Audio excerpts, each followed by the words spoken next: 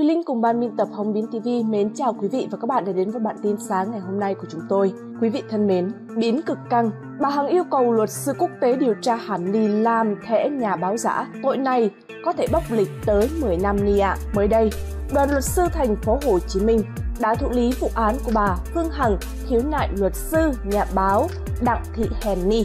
Đây là một cuộc chiến, một cặp đôi, không đội trời chung, vẫn có trận chiến chưa có hồi kết.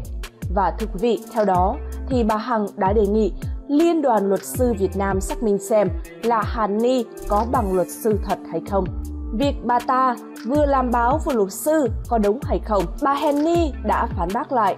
Theo điểm B khoản 4 điều 17 luật luật sư thì cán bộ công chức viên chức mới không được cấp chứng chỉ hành nghề luật sư. Trong khi đó, bà Henny hiện đang làm việc cho báo Sài Gòn Giải Phóng. Trước đó thì bà Henny này đã làm việc cho báo Sài Gòn Giải Phóng theo hợp đồng lao động, không xác định thời hạn, không phải viên chức nên là bà ta nói rằng việc bà ta vừa làm báo vừa làm luật sư là đúng luật. Trước đó thì bà CEO Nguyễn Phương Hằng đã lên Facebook yêu cầu là có lời giải đáp về tấm thẻ nhà báo của Henny. Bà nói rằng, quý vị ơi, cần một lời lý giải cho việc chiếc thẻ này. Hội luật sư đã xác nhận Henny là luật sư thành viên của hội. Vậy thì tôi đặt ra hai giả thuyết để chính thức John Henny phải thừa nhận một trong hai sự dối trá không thể chối cãi.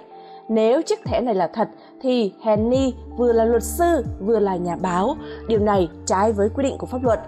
Nếu vậy thì ai, tổ chức nào, cá nhân nào đi ngược lại luật pháp để mạnh dạn cấp phép cho Henny hoạt động ở lĩnh vực báo chí? Một câu hỏi lớn thứ nhất, dù là chiếc thẻ này thật hay giả, dù trường hợp nào đi chăng nữa, Henny vẫn phải đối diện với một dấu chấm hỏi vô cùng lớn từ pháp luật, từ đạo đức nghề nghiệp, từ cộng đồng cá nhân nào, tổ chức nào, thế lực nào đang liên quan tới chiếc thẻ này, liên quan tới Henny mà dám ngồi xổm lên pháp luật. Henny ơi, hãy trả lời đi, chiếc thẻ này là thật hay giả?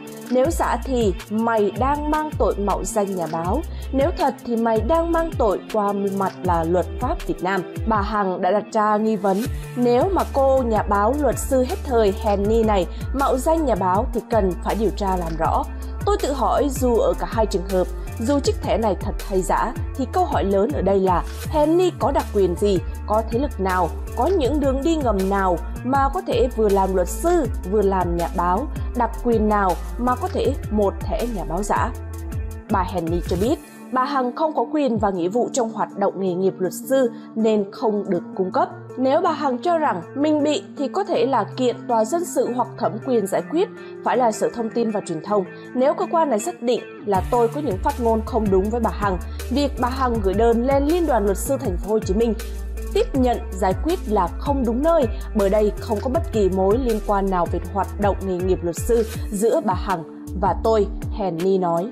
Quý vị thân mến, cũng trong một bài báo mới đây, thì ban biên tập của chúng tôi cũng vừa mới cập nhật được một thông tin cực nóng liên quan tới một bài viết của một bạn đọc thì Thùy Linh, sau đây Thùy Linh xin được là gửi tới cho quý vị và các bạn cái bài viết này và chúng ta cùng nhau tham khảo và phân tích nhé. Góc thông não của trang Chân lý và Chính nghĩa với Henny và FC nhà báo Henny. Tớ chính là tác giả bài phản biện mà Henny download về đăng tải trên trang cá nhân bài phản bác về báo của báo pháp luật. Tớ không biết là Henny muốn đăng lại với ý tứ gì nhưng cảm ơn bạn đã giúp lan tỏa thông tin mà tớ muốn truyền tải đến mọi người fan chính nghĩa và cả fan lươn lẹo về Hàn Ni. Trước sau như một, tớ khẳng định Henny nhào vô drama này với mưu đồ đen tối như hạ bệ doanh nghiệp, doanh nhân bà Nguyễn Phương Hằng, đánh phá kinh tế, gây bất ổn, xã hội, xuyên tạc, địa chuyện, tất cả với mưu đồ tiếp tay cho phần tử phản động. Về FC nhà báo Henny có thể chính là do Henny này lập ra.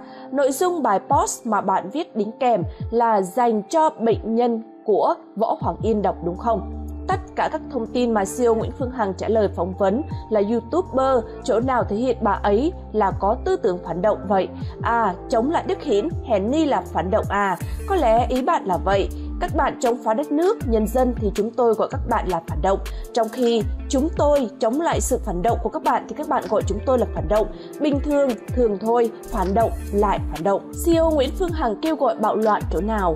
À có phải ý bà ấy nói về đề nghị Trung ương vào cuộc làm rõ nếu không thì một số báo chí cứ bị đặt trù dập doanh nghiệp sẽ có một cuộc bạo loạn à, hèn đi à, bạn rốt tiếng Anh, thôi chứ đâu rốt tiếng Việt như luật sư Thanh Trần, từ vựng bạo loạn hay nổi loạn, còn ám chỉ hành động của cá nhân đấy, không phải cứ dùng từ này là ám chỉ, là đám đông, hiểu chưa? Bà ấy nói rất rõ, nếu cứ bị đặt quy trục, hiếp đáp làm ảnh hưởng đến doanh nghiệp thì tôi sẽ có một cuộc bạo loạn là tôi sẽ đáp trả, kiện cáo lại để đòi công bằng thế thôi. CEO đề cập đến việc sẽ kiện ra quốc tế. Đây là một việc làm văn hóa mà doanh nghiệp bị xuyên tạc ảnh hưởng đến kinh doanh, doanh thu thì nó thuộc về thương mại. Kiện ra tòa, tòa ra tòa trọng tài kinh tế Việt Nam hoặc trọng tài kinh tế quốc tế là chuyện rất thường tình. CEO Nguyễn Phương Hằng nói kiện những cá nhân, tổ chức vu khống làm ảnh hưởng đến Đại Nam chứ không hề đề cập đến chính phủ Việt Nam nhé. Chơi trò bé chữ, gắp lửa bỏ tay người. Bà Hằng cũng không nói liên quan gì đến vụ là Trịnh Vĩnh Bình kiện chính phủ Việt Nam nhiều năm trước liên quan đến luật đầu tư. Bà ấy chỉ nói trong quá khứ đã từng có những vụ kinh tế trong Việt Nam nhưng được xử nước ngoài và từng thua. Năm 2006, một luật sư người Ý đã từng thắng kiện một doanh nghiệp nhà nước bồi thường 5,2 triệu euro, hơn 107 tỷ Việt Nam đồng. Đọc bài báo kèm theo để hiểu biết thêm nhá. Và bà Hằng ham dọa tính mạng của ai vậy? Người dân nào kiện cáo bà ấy? Phải nói chính xác, họ đang đấu tố và kiện cáo qua lại mới đúng nhé. Hiện giờ, ai chính nghĩa, ai phản động thì cộng đồng đã nhìn thấy rồi lươn à. Nếu phản biện thì nâng cao trình thêm, chứ như vậy thì không ổn nghen, hàn ni. Và như chúng ta đã biết, thì trước đó, vào ngày 11 tháng 3 vừa qua, cũng đã xuất hiện đồng loạt trên các mặt báo một văn bản được cho là của cơ quan chính quyền đề xuất là về việc tạm hoãn xuất cảnh đối với nữ CEO Nguyễn Phương Hằng để phục vụ là xác minh đơn tố giác về vấn đề tạm hoãn xuất cảnh đối với công dân Việt Nam mang quốc tịch nước ngoài. Đó là một việc làm rất bình thường và thiết yếu vì cơ quan chức năng cần những nhân chứng là tố giác để tiện cho việc thi hành điều tra cũng như là cung cấp những bằng chứng xác thực phục vụ cho công việc trọng trách hơn nữa thì đúng với thượng tôn pháp luật và bảo vệ mọi quyền cho nhân chứng quan trọng trong bất kỳ vụ việc nào. Nhưng điều đáng nói ở đây là dấu chấm hỏi rất là lớn từ người dân trong nước Việt Nam nói chung và nữ siêu Nguyễn Phương Hằng nói riêng về công văn bảo mật đã được tiết lộ ra bên ngoài, trong khi công văn đó chưa đến tận tay chính chủ.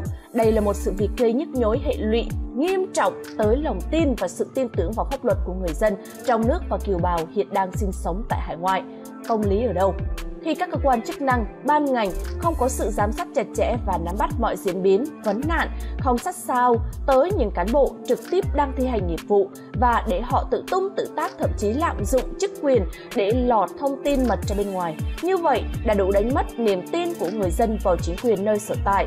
Một cán bộ thao hóa, biến chất đã làm ảnh hưởng liên lụy tới sự uy tín, đường lối chính sách của đảng nhà nước, xem thường pháp luật và quá coi thường người dân báo chí hai mặt, luật sư rỡm lên ngôi, ngồi xổm cả trên pháp lý, tự cho mình cái quyền phát ngôn bừa bãi, đăng tải những thông tin với nội dung lệch chuẩn, lợi dụng sơ hở của đối phương, dẫn dắt dư luận theo chiều hướng xấu, nhằm mục đích là trả thù tư thủ cá nhân và không một ai không biết đến cái tên Phó Tổng biên tập nhà báo Đức Hèn, một nhân vật cộm cán vẫn tồn tại trong ngành báo pháp luật.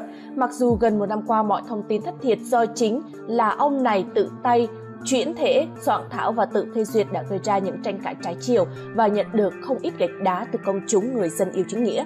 Ấy vậy mà ngay tại thời điểm này thì anh ức hiến này lại là tự đại dùng sắc lệnh là quyền hạn của mình đăng tải những nội dung gây ảnh hưởng đến các cấp chính quyền trung ương. Những việc làm của anh ức hiến này chưa khi nào nhận được hưởng ứng từ cộng đồng mạng, thậm chí còn bị cư dân mạng lên án thái độ là đạo đức nghề nghiệp người làm báo. Và điều đáng nguy hại nhất đó là tư tưởng và sự cốt lõi trong cương lĩnh chính trị làm liên đới và suy thoái đến thế hệ trẻ đang tiếp nối. Những tư duy không lành mạnh là mai một đối với một thế hệ hệ thống báo chí ngay cả khi người dân nhận thấy không thiết thực thiết nghĩ một nhà báo tốt cần phải có trách nhiệm tìm hiểu các nguồn tin đa chiều chất lọc thông tin để sáng tạo ra những bài báo khách quan và chân thực nhất. Bản thân tôi là một công dân việt nam mang quốc tịch thụy sĩ. Khi đọc được những thông tin này, thông tin chính phủ đề cập đến vấn đề thông tin cá nhân, điển hình là đối với nữ CEO mang quốc tịch Canada không được các cơ quan chức năng bảo mật.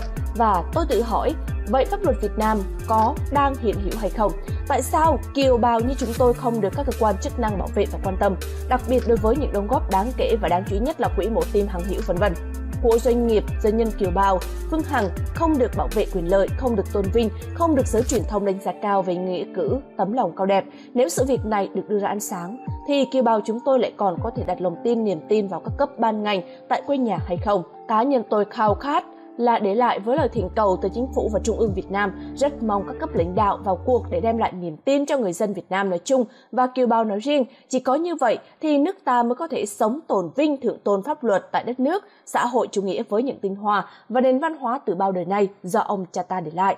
Đây cũng là một bài viết của một kiều bào người thị sĩ tên là Phương Nga Đoàn và chúng tôi rất cảm ơn về bài viết sâu sắc của chị. Và quý vị thân mến, Bài viết này cũng đã kết thúc bản tin của Hồng Biến TV ngày hôm nay. Thùy Linh xin chân thành cảm ơn quý vị đã luôn đồng hành và theo dõi tin tức của chúng tôi và rất mong nhận được sự quan tâm của quý vị. Mến chào và hẹn gặp lại trong các video kế tiếp.